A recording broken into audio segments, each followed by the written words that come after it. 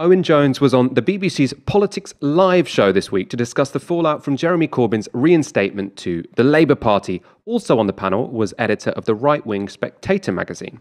Now, both were asked to comment on Labour anti Semitism. That meant we heard another right winger wring their hands about racism when, in fact, they are its biggest promoter. Luckily, Owen brought the receipts. Let's take a look. But I must say, I must say this. I must say this. One of the things that complicated the attempts to deal with a genuine problem that existed on the left were people with no credentials to talk about racism coming on national television to grandstand in the way Fraser Nelson has. And I'll just quickly explain. Fraser Nelson is the editor of The Spectator. One of his leading journalists, Rod Liddle, was booted out the Labour Party for racism. He's still published by The Spectator, good enough for The Spectator, booted out the Labour Party for racism. All right. He, no, no, no, no, no. Well, no, because I'm going to get Fraser to publishes articles mm. Which praise Greek neo-Nazis. He published one article entitled "In Defence of the Wehrmacht." Sure. Other articles which say other articles which say there's not enough Islamophobia. I will let I will let Fraser talk about this, but people might think is this a bit of you doing what no, about you? We're discussing no, Jeremy Corbyn no. today. The point, what the point was, anti-Semitism is a genuine problem that Labour failed to address, and it was complicated right. by the fact that when people like myself said more action needed to be taken, people without the credentials to do so right. came on well, television and made people feel defensive and under attack and compromised those attempts let Fraser, to deal with it. Let Fraser respond. Well, there's been no articles defending Greek neo-Nazis. Yes, on the has. contrary, yes, we've been hang, hang on, hang on. Let's just let, let it, I'd be very, and the thing is, um, Owen, though I admire him very much as a writer, doesn't strike me as a spectator reader. If you, and I think he might have been misled by what he sees no. on Twitter. No, no, no, no, You wrote, Taki, your columnist, wrote articles that, you know, defending Greek neo-Nazis, the Golden Dawn. That's a fact, Fraser. You'll come out with a, a phrase or a, a sentence no. here or there. You put it out on Twitter, and there's a kind of inverted pyramid of outrage, and people. Everyone just Google the fact that the Golden Dawn was praised by the spectators. Right, it's impossible to reconcile the sort of um, sort of Twittery things that Owen's saying with a magazine. And there's a difference between an opinion he doesn't like and racism and fascism. Now, you know, one of the problems right now with the Twitter debate is that people are just so keen to take an opinion we disagree with and say, this guy's a racist, this guy's a fascist, without anything really based on what? Two Fraser, or three Fraser, words? I'm sorry, I can't let. And, and that is a pretty strange way no, to no, no, conduct. No, no, no, no. Debate is good for social media, it's not so good Fra- for television. Fra- Fraser, but, uh, Fra- it's good for YouTube, so maybe Owen wants to give us a little um, spiel. Fraser, anyone who Googles the fact that the Spectator published an article, articles defending the Golden Dawn, which has been banned in Greece as a neo-Nazi organisation, Google, Google it now, and you will find that's the case. And this is the problem. This is the problem. There is a problem of left. There is a problem of anti-Semitism on the left, well, you've said, which melds with conspiracy. Res- and the problem let, is, let Fraser respond to that people article. like you with no moral authority. You've made a bold claim. Let's. But it's just a fact. It's right, a fact, well, and uh, you can't you can't deny it. And in defence of the Wehrmacht.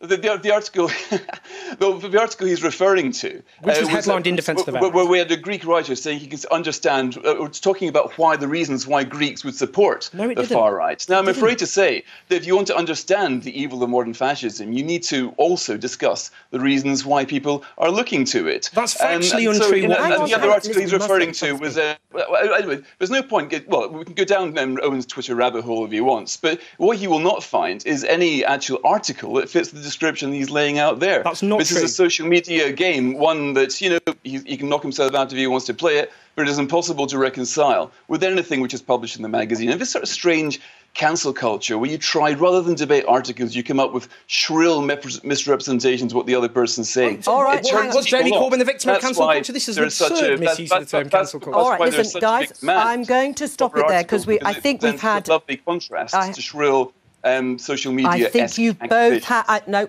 I think you've both had a fair crack of the whip.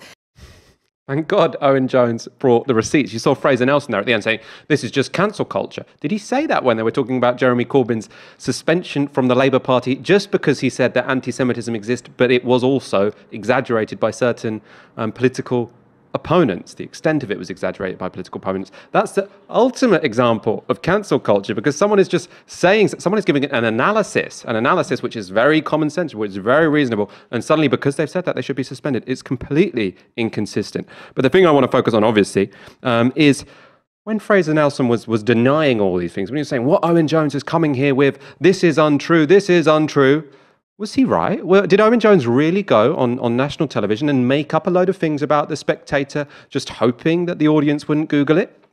No, uh, he didn't. Uh, it was Fraser Nelson who was just you know, barefaced lying about the magazine which he edits. Um, so let's look at these, these, these articles which were defending Greek neo Nazis. So, first, there's this piece from 2013 about Greek neo Nazi party in Golden Dawn.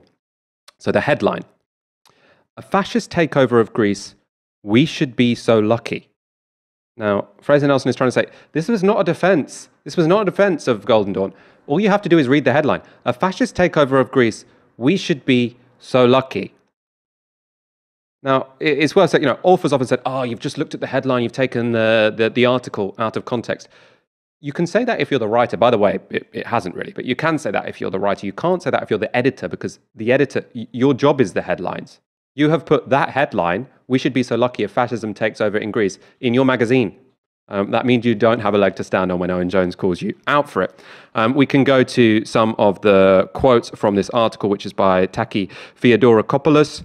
And he writes Golden Dawn came into being because of PC, which I think is political correctness, poor Greeks at times getting fewer benefits than African illegal immigrants. Then Golden Dawn became very popular with certain poor Greeks while it defended them from being mugged by Albanian criminals and drug dealers, and for safeguarding older folk after bank withdrawals. Later, the article said, Golden Dawn members might need some lessons in social etiquette, but when the bien pensants need much more is to get off the pot and their double standards. Golden Dawn members are mostly labourers, martial artists, cops, security personnel, and good old fashioned patriotic Greeks. Good old fashioned patriotic Greeks. Um, it's worth pointing out Golden Dawn, this, this organization which he is saying is, is mainly um, good old fashioned patriotic Greeks. And it's important to say this is also Golden Dawn members. He's talking about Golden Dawn members, not Golden Dawn voters. Golden Dawn members. Now, Golden Dawn has recently been banned. It's a criminal organization. If you are a member of Golden Dawn, it's it's it's criminal to be a member of Golden Dawn because it's so violent. Um, so this was after a court had ruled them to be a criminal organization based on spates of violent attacks they committed against left-wing activists and migrant workers. Um, in response to that, so obviously now they've been banned. Now they've been banned by a court. They're a criminal organization. The Spectator is no longer writing articles saying these are just good, hard-working, patriotic Greeks. No, they've changed their tune. The fall of Golden Dawn, the party may have imploded, but the dangers of Greek neo-Nazism haven't gone away. They've changed their tune because in 2013 they were saying they would be so lucky. They would be so lucky if fascism took over in Greece. Not the same author, but in the same magazine.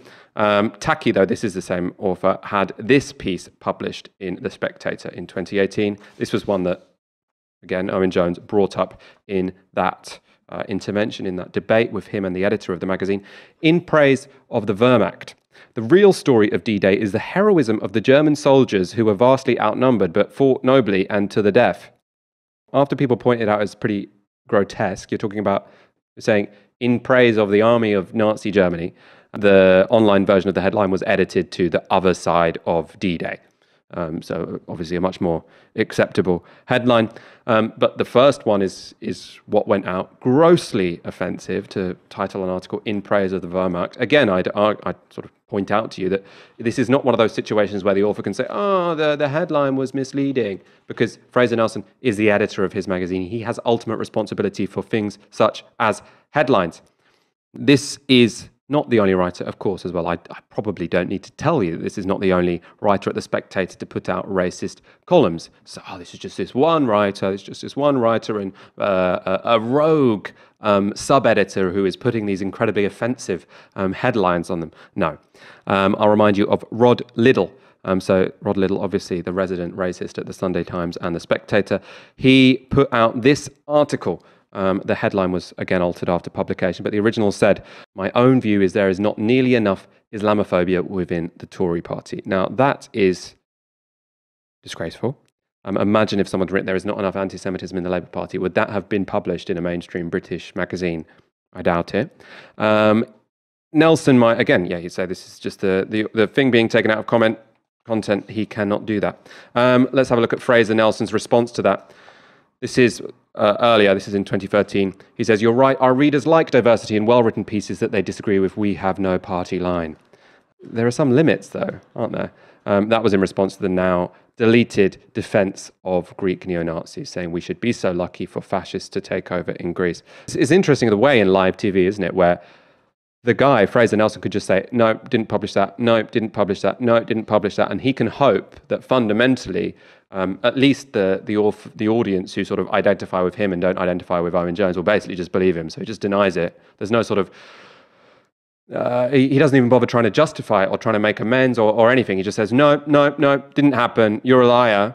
And he hopes that enough people in the audience are, are going to believe him. I mean, it's, it is, I mean, there's that to comment on, but also just how grotesque it is to have all of these people rolling out their, their trauma and their anger um, that Jeremy Corbyn had the temerity to say that maybe anti Semitism in the Labour Party, whilst it was real, was also exaggerated because when asked, the public thought that a third of Labour Party members had been investigated for anti Semitism when it was only 0.6%.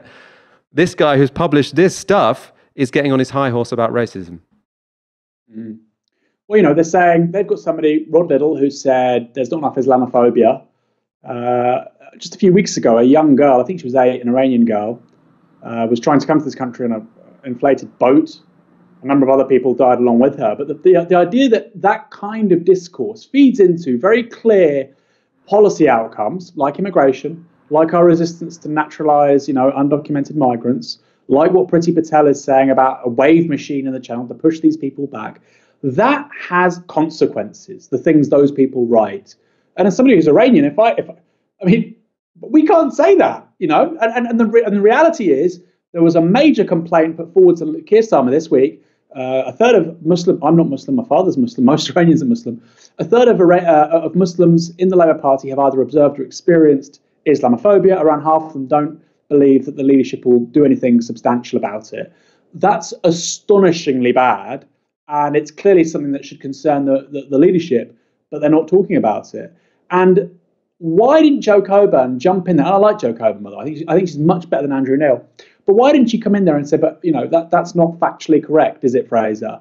Well, because, you know, she works alongside Andrew Neil, who is the chairman of the Spectator, right? The Spectator, you, you Googled Spectator summer parties. It's the summer party which includes the great and the good of the Westminster media and political establishment every summer, right? So is she really going to say, yeah, Fraser Nelson, you said, you know, you've published these articles in praise of the Wehrmacht That happened, right? This is not up for debate. It's not a point of view it's not, oh, we're going to have two sides of this. It happened. It's like gravity. If you throw something in the air, it's coming back down. The Spectator published an article called In Praise of the Wehrmacht amongst other things. She should be saying that. And it's worrying. You know, you saw CNN recently, they're cutting off Donald Trump or one of his spokespersons when they say things which are factually inaccurate. She should be saying, well, that's not true. Or she should say, stop, Owen. Is this true, Fraser? Was that headline published? Yes or no? But we're in a really dangerous place with the BBC because it's been institutionally captured in many parts by, by the right. That's just a fact. Um, in many parts by the right. The, the BBC effectively houses the politics of the right and the sort of socially liberal centre, which is definitely not interested in socialism and is not particularly good on mi- migrant politics. Um, and then you've got the fact that we can't really, you know, they've got 80% of the broadcast news market share, 80% of uh, radio news market share, online news. So people like Jo Coburn or Fiona Bruce on BBC Question Time, know, they can't avoid this. They need to take this very seriously. If people say things which are untrue on a BBC platform, BBC journalists, particularly presenters, need to know. I think this needs to come from the very top, from the you know, from the director general. You need to establish what is and is not a fact. There is not a point of view about whether something was published or not. Either it was or it wasn't. Uh, and that's concerning. And I think that's partly an outgrowth of the BBC's culture right now, which is not good. But like I say, people like Andrew Neil, he was he was the chairman of the Spectator. Boris Johnson was his editor. Wait, who was meant to view? Uh, who was meant to interview who in the last general election?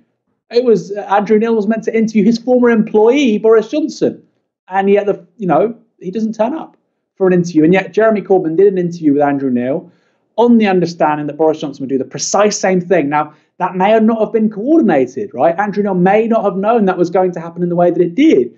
But this is clearly not an adequate way to run an organization which is effectively given a, a monopoly on broadcast media in this country, broadcast news media.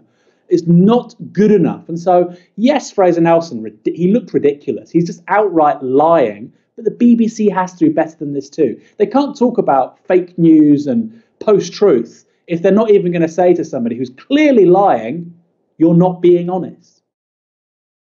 No, I totally agree with that. And I mean, yeah, I mean, uh, just thank God he was there to, to sort of point out the hypocrisy um, that was going on there. And yet, the, the excuse as well to just say, oh, we publish all sorts of things people disagree with. I mean, there's clearly a, a limit right? If is Fraser Nelson seriously saying that no, we will publish literally anything because there are loads of disagreements? I mean, has he even published anything? Well, if he's saying that Jeremy Corbyn, um, or if he's agreeing, if he's nodding along to say that Jeremy Corbyn shouldn't be readmitted to the Labour Party because he said that potentially um, the extent of anti-Semitism in the Labour Party was exaggerated. I mean, is he even brave enough to put that in his his magazine? No, but in defence of the Wehrmacht, that apparently is very much allowed.